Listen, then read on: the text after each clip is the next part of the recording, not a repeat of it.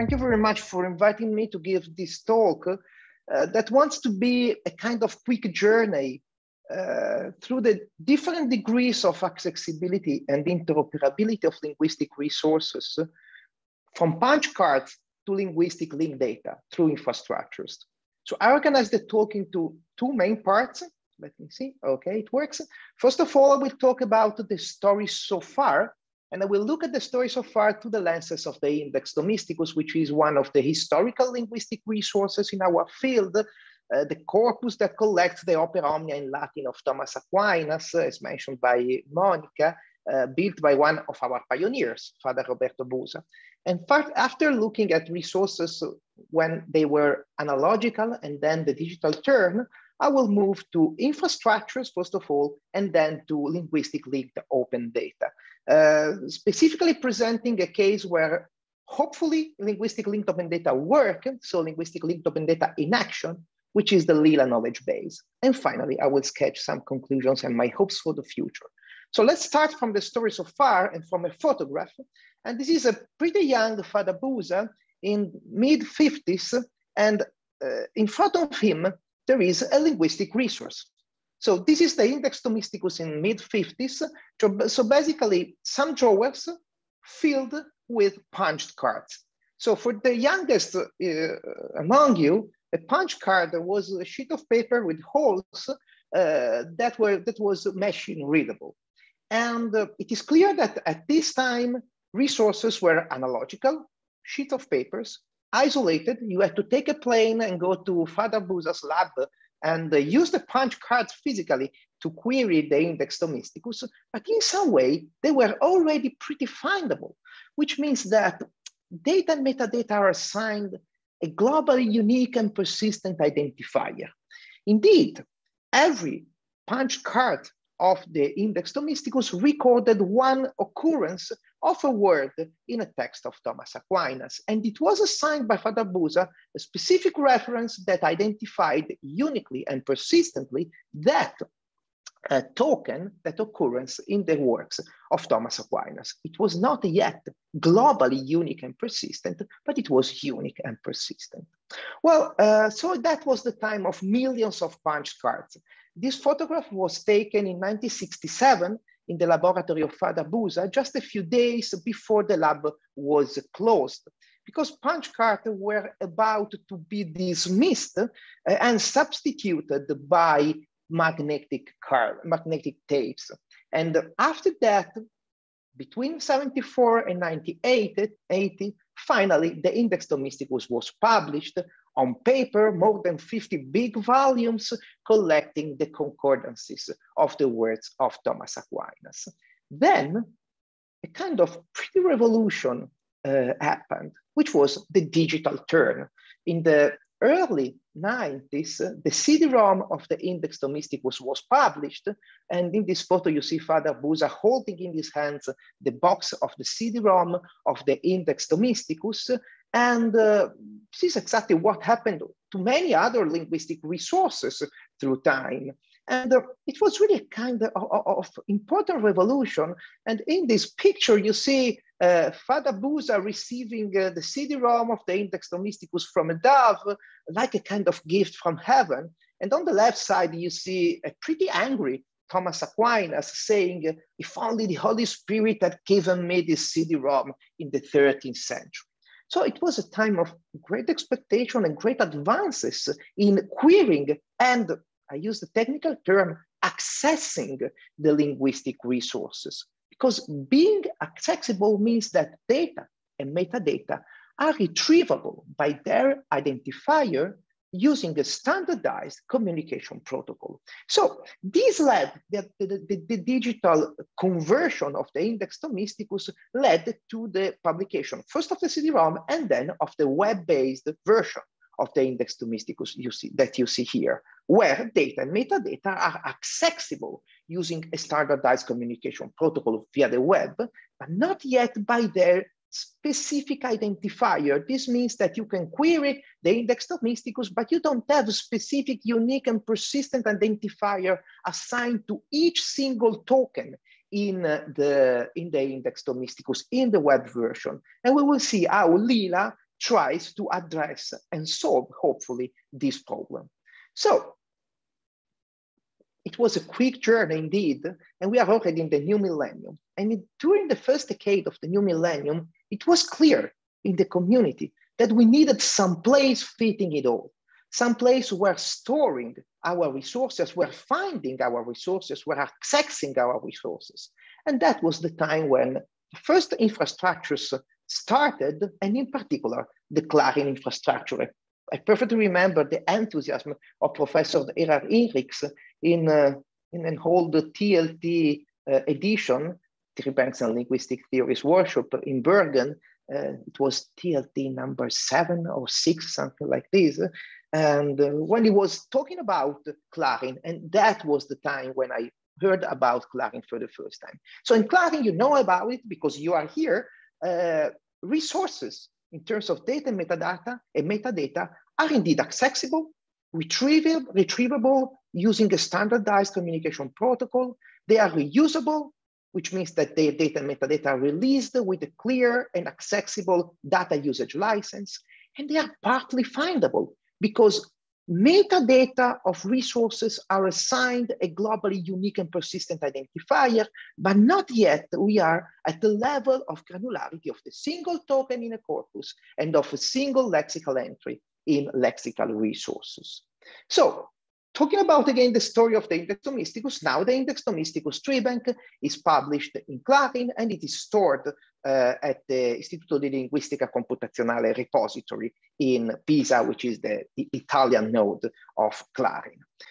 So the Clarin infrastructure makes resources in part, in part findable, accessible, reusable, but what about making them semantically interoperable?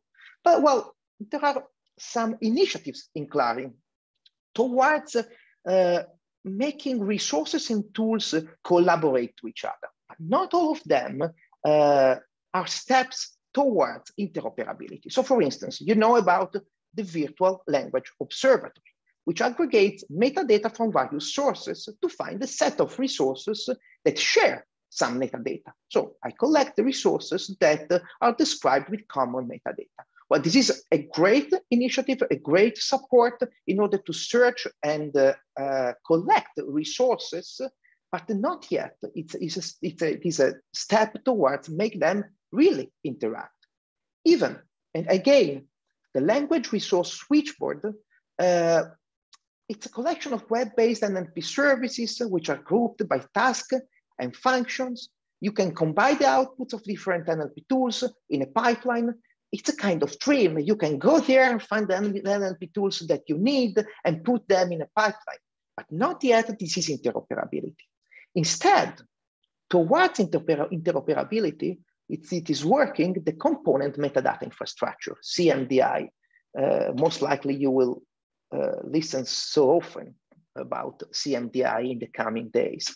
So the CMDI is made of components which are groups of semantically coherent metadata elements, so metadata that describe resources, and profiles, which are set of components that describe a specific resource type. So, uh, for instance, I have a tree bank, and the tree bank is described with a set of specific components. And then there is, and this is the important part, the component registry, which is a collection of concepts with persistent identifiers to which you can connect the single metadata. And here it comes semantic interoperability, which means linking metadata elements or components that describe the resources stored in Clarin to the concepts stored in the Clarin concept registry, which is a kind of meta language that is shared by all the resources that describe the single that, are, that, are, that is linked to the single metadata components that describe the single resources. Well, this is very important, but it's not enough. Let me move to the next slide. Because there are still, still some limitations to interoperability in Clarin. And I quote here what Penny Labropoulou mentioned during a lingu linguistic link data cafe that we organized in Clarin at the, at the end of uh, April. So the Clarin concept registry, it's a collection of concepts identified by their persistent identifier which is relevant for the domain of language resources. It is implemented in SKOS, but not yet there are relations between internal concepts. So semantic inference is hindered by this missing of relations. And more importantly, there are no relations to external concepts. So there are no crosswalks to popular schemas, which is important indeed, because you want that your schema speaks the same language of the other schemas. And there are too many similar concepts. And this is exactly what, what, the Clavas project wanted to, to do, proposing an easier maintenance of the vocabularies used for the CMDI elements. And even the use of vocabularies is still limited to those that are in the clavas. Uh, so the Clarin vocabulary and alignment service. To sum up, uh, in Clarin, uh, it is, there is work towards making resources interact, interoperable, using common concept stored in the CCR, uh, which is still limited and in some way autoreferential because it, it has no relations with external concepts. So a possible one step further towards interoperability of linguistic resources is linguistic linked open data. From one place fits all to one place interlinks all. So linguistic linked open data wants to apply linked data principles to linguistic resources. The linked data paradigm is used in the so-called semantic web in order to make it possible that machines can interpret semantically the relations between things. Well, applying the linked data principles to linguistic uh, resources aims to make the resources fully fair, not only findable, accessible, and reusable, but even interoperable. So I just resume here briefly the linked data principles. First, first of all, use your URI for things, uniform resource identifiers. Again, these identifiers. Assign unique, a persistent identifier to the things you deal with. We deal with uh, linguistic resources. So this means that we deal with things like an entry in a lexicon, a token in a corpus. Use HTTP URIs to allow, to allow people and machines that have to interpret semantically the relation between the things to look at things. Third, use web standards to represent and query data and metadata such as RDF and SPARQL. Uh, I don't have time to enter the details here of RDF and SPARQL. Just let me say that RDF is the data model used in the linked data world, and not only, and it is based on the concept of triples. So everything is represented in terms of triples, and we, in a while, we will see a number of triples. So a subject, an object, and the relation between them that is called technically a property. Finally, go with interoperability and include links to other URIs and enjoy the network effect. Okay, why to apply linked data to linguistic resources? Let's get back to that Clarin Cafe of late April. Jorge Gracia reported the reason why applying linked data to linguistic resources. It is quite trivial. Resources are disconnected from each other in separate silos. And this is exactly where a, a great resource and great infrastructure like Clarin is working, uh, collecting the resources in a number of country-based repositories and then making them hopefully interoperable. Several of them are in proprietary and heterogeneous formats. And our resources very often follow different representation schemes use different query languages, follow different annotation criteria, make use of different tag sets, and you get crazy.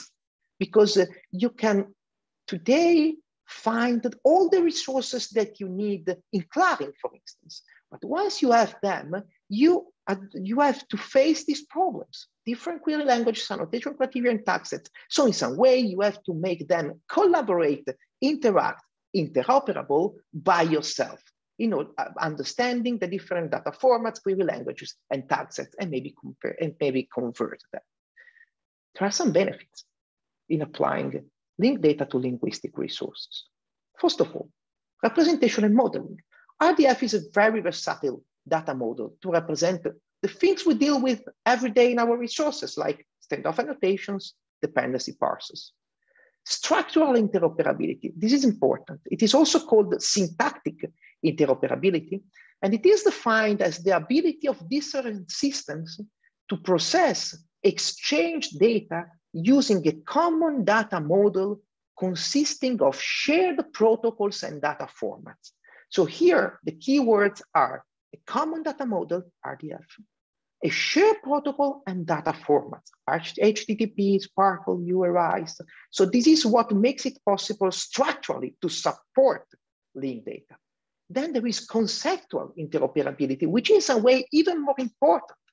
Semantic interoperability or conceptual interoperability is the ability to automatically interpret exchanged information meaningfully by using a set of keyword, common linguistic data categories defined in shared ontologies.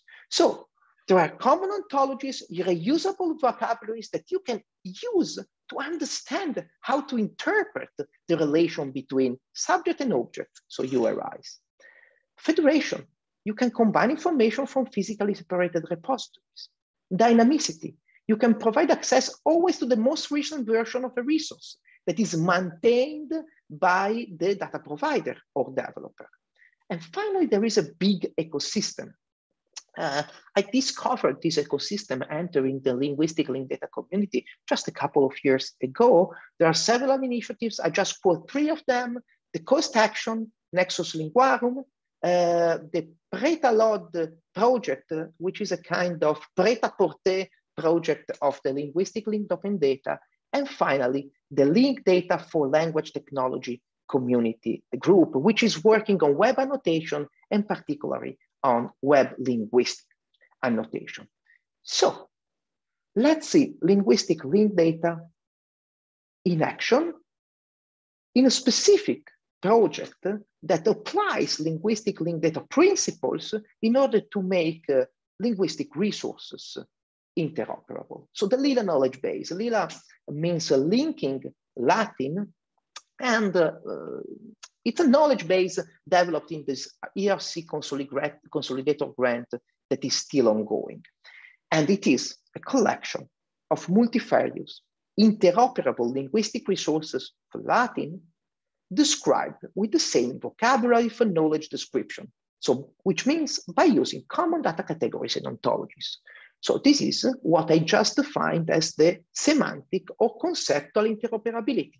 You interpret exchange information by using common linguistic data categories that defined in ontologies. And uh, if you get back to the previous slide, you see that I uh, entitled this section of my talk prefixes matter because prefixes matter. Uh, you hear how, how often I uh, I, I, quote words uh, with the prefix inter, interoperability, interlinking as a form of interaction, because interoperability is really the word that uh, is proper of linguistic link data and in particular of the Link in Latin project, while Clarin is an infrastructure. In, some way, it is inside itself, while interoperability wants to connect distributed linguistic resources with a common conceptual interoperability. So how does it work? Uh, Lila is based on a highly lexically based architecture. It is highly lexically based with, because we start from a, quite a trivial assumption that everything in Lila, in Lila deals with words. So lexical resources describe properties of words and are made of lexical entries. You open a dictionary and you find lexical entries. Textual resources are made of occurrences of words in text, tokens. And natural language processing tools provide natural language processing outputs.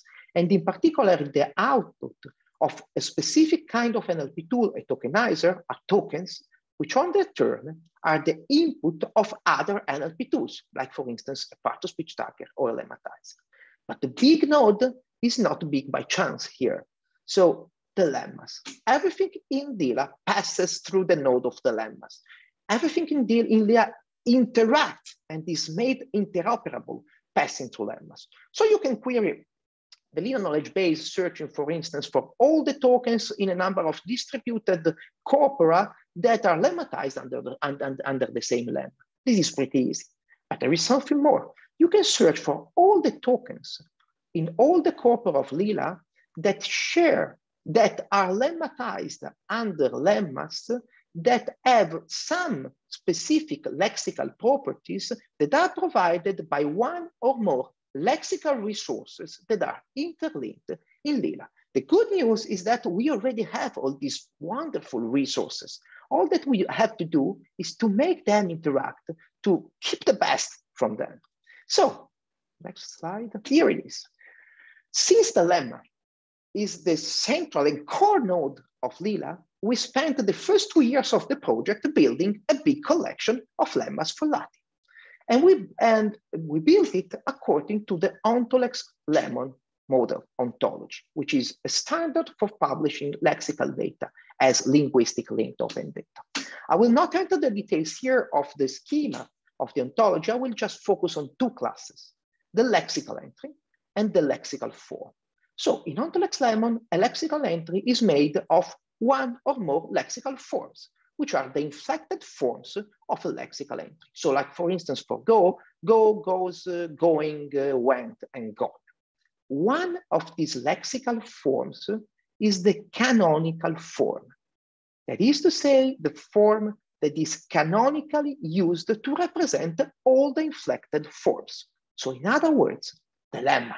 So what we did was just to build a big collection of canonical forms for Latin, forms that are canonically used to refer to the lexical forms, inflected forms that are found in texts. So we built the Lemma Bank, which collects around 200,000 uh, canonical forms for Latin, and which is the core of Lila. And from the Lemma Bank, in particular from one example from the Lemma Bank, the lemma admiro, which, which in Latin means to admire, to respect, and from its URI, we will see the, a number of lexical resources that you can see here in the slide that are currently linked to Lila. So let's go there and let's hope that everything works. So this is the data sheet for the lemma admirer in the, in the lemma bank of Lila.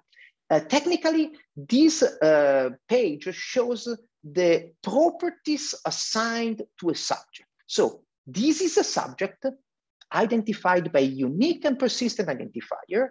And then there are a number of objects, like for instance, this one, verb. And then there is a property, a predicate that connects both of them. So as pos. So this subject as part of speech verb, it is a verb. And this property is defined in the Lila knowledge base. Okay, let's move to a graphical visualization. And we will see here that this node represents the lemma, so the canonical form for Admiro, which has a graphical variant, technically called a written representation, which is Ammiro. To this node, and this is the lemma bank, are linked all the resources that are linked in Lila. So let's start from a lexical resource. So we have for, La for Latin a Latin wordnet. The Latin wordnet, like all the other wordnets, is made of lexical entries. So this is the lexical entry for Admirer in the Latin wordnet, which is linked, and this is a triple, a subject, an object, and a property. And this lexical entry is linked to its lemma in the lemma bank by this property that is called canonical form defined in Ontolex lemma. Well, Admirer is then linked to its synset. So for instance, Admirer here evokes again another property defined in Ontolex Lemon, this specific synset. This synset has a definition, regard highly, think much of it. And on its turn, this synset is evoked by two other lexical entries of the Latin wordnet, like estimo and amo. And on their turn, estimo is linked by canonical form to, sorry, to the lemma estimo with the graphical variation estumo in the lemma bank, and amo is linked to the amo lemma in the lemma bank. What can you do here? Let's search for all the tokens in the corpora linked to Lila of those lemmas that are linked by canonical form to a lexical entry of Latin word that evokes a specific synset. What are you doing? You are exploiting information and meta information which is stored in different kinds of distributed resources. So now let's focus again on Admiro and let's see another feature of the lemma bank. Admiro is connected by the as base property to the base of Mirus. Base of Mirus is nothing but a connecting node that connects all the words in the lemma bank that make use of the same lexical base of Mirus. So for instance, uh, miraculosus and uh, miraculum and uh, mirabundus. So what can you do here? You can search for all the tokens in all the corporal linked to Lila that are linked to a lemma whose base is the base of Mirus. Okay, among the lemmas connected to Mirus, there is Mirus. So now let's focus on Mirus and let's see two further lexical resources. The first of them is Latin affectus. So you know about it. Every lexical resource is made of lexical entries, and this is the lexical entry for Mirus in Latin affectus, which is linked by canonical form to the lemma Mirus in the lemma bank. Latin affectus is a polarity lexicon. To each of its entry is assigned a prior sense, which in this case of Mirus as polarity positive. So this is used for sentiment analysis purposes. And to the positive node are linked all the lemmas in Latin affectus that are assigned a positive polarity. So what can you do? You can search in all the corpora of Lila for all the words that are assigned a specific polarity, for instance, for instance, positive in Latin affectus. But from Mirus, we can see another resource, which is the etymological dictionary for Latin. So this is the lexical entry for Mirus in the etymological dictionary for Latin by de Vaan, published by Brill. And each of the lexical entries of the etymological dictionary in Lila is assigned an etymology. And in this case, the etymology has two etyma. And these etyma are respectively this one, the Proto-Indo-European root used by Mirus and the Proto-Italic root used by, root used by Mirus. But there is something more. The two roots are interlinked by an etymology link, which says the source and the target. So the Proto-Indo-European root is the source whose target is the Proto-Italic root. And on its turn, the Proto-Italic root here is the source of the target, which is the Latin word. So from Proto-Indo-European to Proto-Italic to finally, Pro to finally Latin. One of my dreams is that to this Proto-Indo-European root are connected all the tokens in all the corpora of all the languages that make use of that Proto-Indo-European root. So uh, that's enough for what concerns lexical entries. Uh, the other kind of linguistic resources linked to Lila are textual resources. For instance, the Index Thomisticus tree bank. And let's get, get back to the Index Thomisticus. So uh, the, the, Index Thomisticus is, is, available in two schemes, in two um, annotation schemes. The first one, and you see here, the tree for this sentence uh, resembles that of the Prague dependency tree bank of Czech, and then uh, recently, the Index Thomisticus tree bank was made available in universal dependencies. So here, the URI is assigned to a single token. And now let's focus on this single token, the token estimato.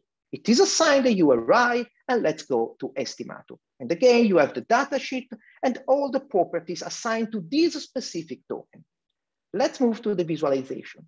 So this is the token estimato uh, I just have time to show you here how the dependencies are represented. So for instance, in this case, you see that estimator is connected to the OC token by a specific dependency relation from the universal dependency scheme, which is ACL, ad nominal clause. So in other words, in the tree, estimator depends on OC via ACL. Here it is. If we get back here, we see that estimator depends on OC via ACL. And this is how a tree bank, for instance, is represented in Lila. An overview, the resources that are currently connected in Lila and the upcoming connections, you see that we have some corpora, some lexica, and the Lemma Bank that is built upon an extended version of uh, a powerful morphological analyzer for Latin that is called LEMLAT. And uh, in this slide, I just report the links.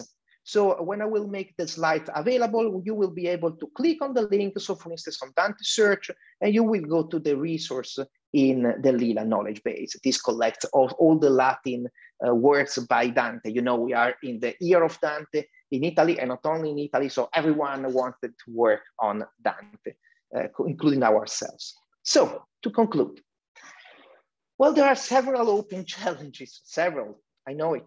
It's not so easy, but believe us, we are doing our best to fully exploit digital text. That is to say, text in a form that both humans and machines can use. Let's get back to what I said about the linked data.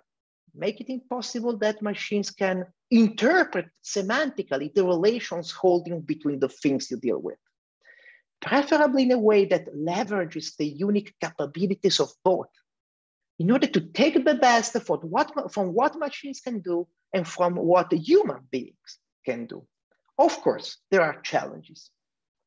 The first one, the first one is making linked open data more accessible and usable. I know that it's not easy.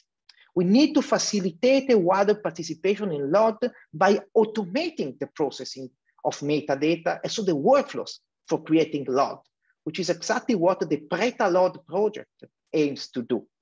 Second, LOD is wonderful, it is open, it's accessible, but producing it takes money, takes time, a lot of expertise. So I hope that with this talk, I will uh, convince the, the, the high places in Clarin to give funds for data entry uh, according to LOD, and also to build new models because there is a lot of work here. There are several models still missing for several types of data and metadata. For instance, for philology, I come from that uh, background, and for critical editions, there is a lot of work to do. And of course, linked open data is a community-based effort. That's very important. We need to persuade, if we are convinced of this, developers of linguistic resources to adopt linked open data practices and reaching consensus about around shared vocabularies, ontologies, data categories. If people do not uh, provide their resources uh, in a loud way, and if we do not share the same data categories, the same, in some way, language that describes the languages, well, we cannot reach the objective of interoperability. So we are working towards a shared and formal representation of what exists well, that's a, a, very important objective, at least of what is there in linguistic resources. This is what an ontology is, description of what is there, of what exists. So a common language to turn Babel upside down. And I want to close my talk quoting this because, uh, and let me get back to my beloved and very missed mentor, Father Roberto Busa, uh, whose uh, last book was entitled rovesciando Babele, turning Babel upside down. And I'm convinced that people in Clarin are really working towards this, uh, this objective, turning Babel upside down to make our life with linguistic resources easier. And let me thank very much again the organizers for inviting me to give this talk and all of you for your attention. Thank you. Thank you very much, Marco, for bringing us towards this path from uh, this historical path from the work of Padre Busa to the linked open data, which is a very, a very, very uh, time consuming and, uh, and difficult journey. So uh, now I open the floor for question. Please uh, write your questions in the chat so that uh, I can uh, read them and, uh, and Marco can uh, give his answers. And in order for, for, for you to to think about, uh, to, to write your questions, I, I, I have a couple of questions for, for, for Marco. In particular, uh, you showed us at the beginning the wonderful historical pictures of uh, the from from the Index Thomisticus archive, mm?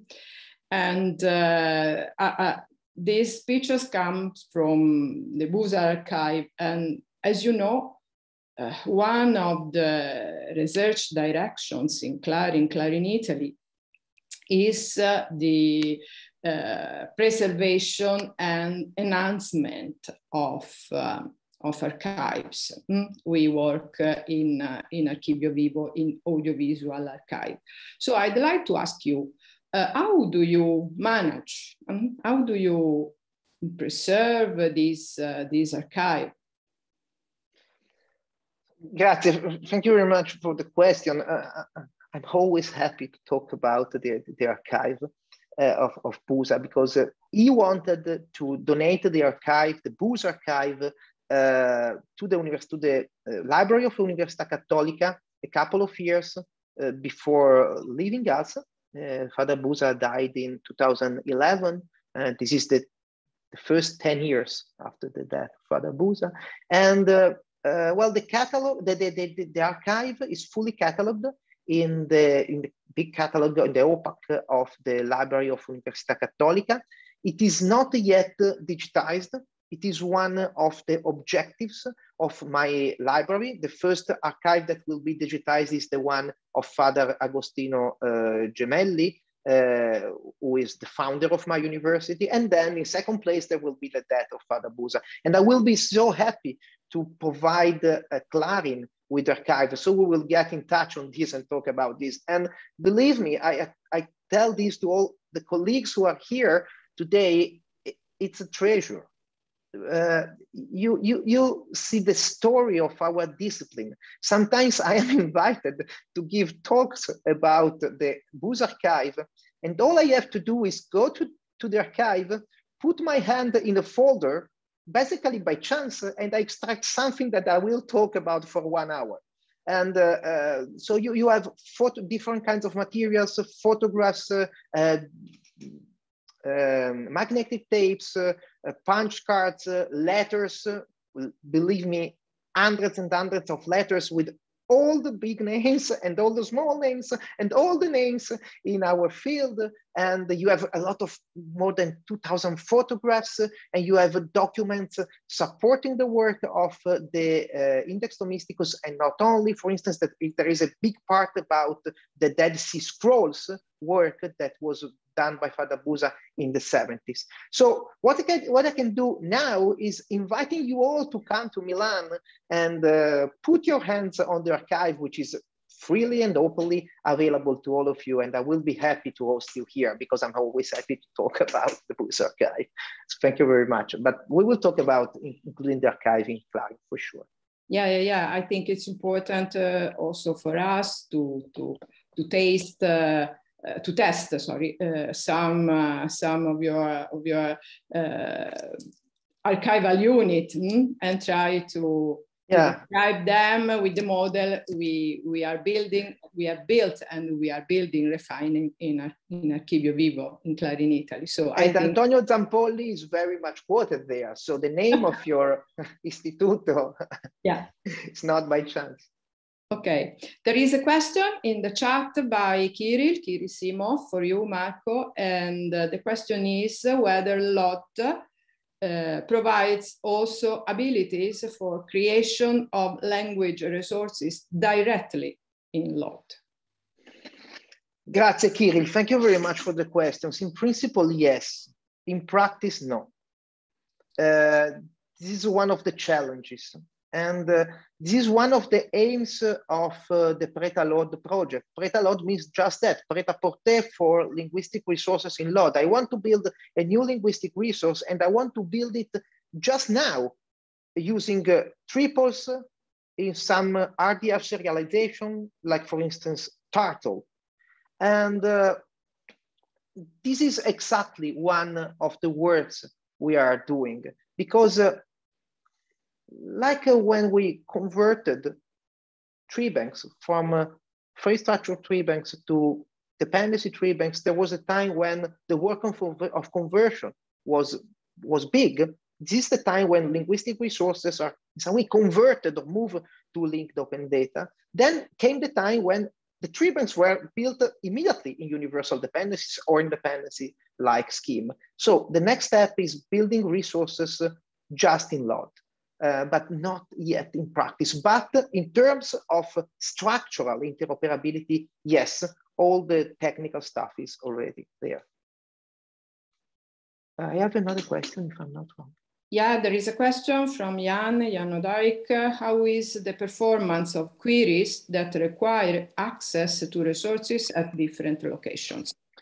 Yeah, thank you very much for the question. This is one of my nightmares, indeed, uh, because uh, uh, the problem of scalability is there. Uh, currently, in the Lila knowledge base, there are more than 30 million uh, triples, and we have just uh, seven or eight linguistic resources for Latin. So a small language in some way interlinked. So all I can answer now is uh, about the, the, performances of the queries as they work now in the Lila knowledge base, and they work very fast. I'm pretty surprised of this. Uh, there are some tricks that you can uh, do in order to make the resources fast, but uh, please invite me again in, in, a couple of years and I will give you a better answer, hopefully working towards, uh, working with some hundred millions of queries uh, and maybe I will answer, oh, it does not work at all. It takes a lot of time. Or maybe I will answer you. I'm surprised and it works. So currently the answer is uh, queries are, are, fast and they work well. Of course, it depends on the number of nodes that you have to traverse, but we run also very, very complex uh, queries. And currently, we are pretty happy with the results. Okay, there is another question from Paolo Budroni from, from Vine. Uh, he wants to know more about the visualization interface. What are your plans there? Uh, two plans. First, uh, the visualization interface that you have seen was not built by us, but it is, uh, it is called the LodLive, and it is used in the in the LOD world. We just uh, made uh, some specific application to our our needs, uh, but it is freely available and uh, you can use it. The second plan is uh, one of the work packages of the second part of the Lila project, which is building a hopefully easy to use interface to write queries. So my idea was that of a kitchen where you have ingredients and you want to uh, you want to cook a very good dish. Your very good dish is the, is the query and the ingredients are the different resources that you can find in Lila. So in the second part of the, uh, of the project, we will build this visualization to write queries in a graphical mode because we have to address the needs and expertise of our users who are in many cases, not only computational linguists, but classicists.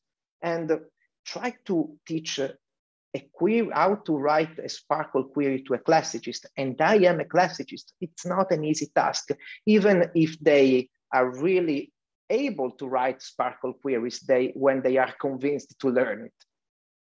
And, uh, and uh, another question, uh, for you a visionary answer, I think.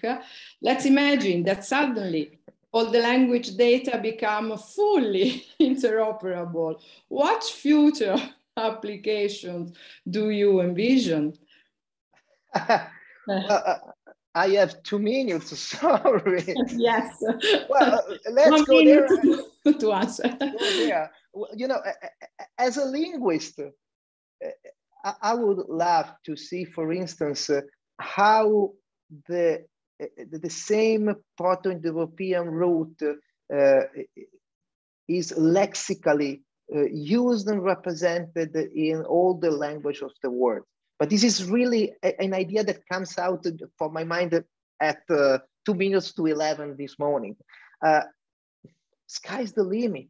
You know, uh, imagine that suddenly all, all those beautiful resources that are there are connected, interlinked. That you can query all of them in multilingual fashion. I see both NLP, uh, NLP applications that can benefit from this and the theoretical linguistic research uh, stemming from this. Sorry for not being more precise because of, I will work towards having it all interoperable and then if I'm not dead yet, well, uh, I hope that I will enjoy it. Okay, and now, there was a question. By... Yeah, a question from from Valeria. What Valeria. So, would you suggest, in case uh, lemmatization is not a viable solution because lemma are uncertain? For example, uh, Valeria uh, is thinking about uh, ancient languages. Hmm? So in some ways, this is the question.